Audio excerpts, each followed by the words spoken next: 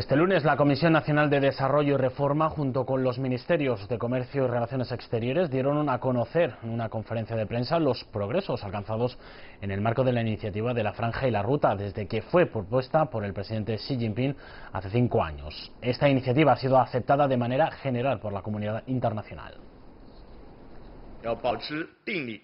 La práctica de cinco años ha demostrado que la construcción de la franja y la ruta coincide con la tendencia de la época actual y con la dirección del desarrollo histórico. El reconocimiento internacional está creciendo, más y más socios están participando y su influencia continúa expandiéndose.